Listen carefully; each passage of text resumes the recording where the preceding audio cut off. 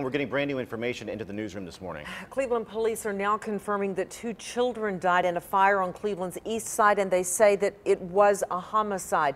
Kristin, you've been working on this story all night long. Bring us up to date on what you've learned in the last 30 minutes.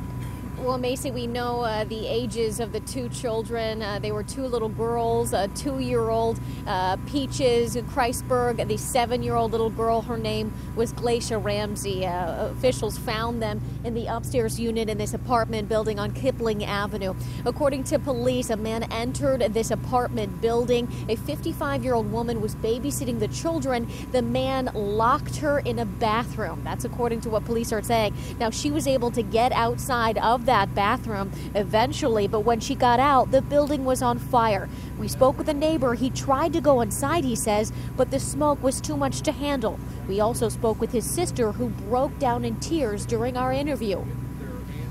He just happy kids, man. He just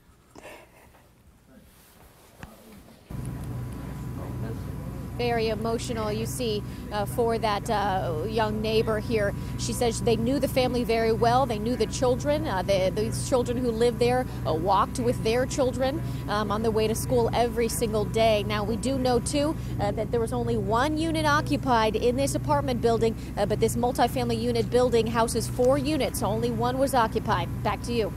All right, Kristin, thank you for the very latest on that. And in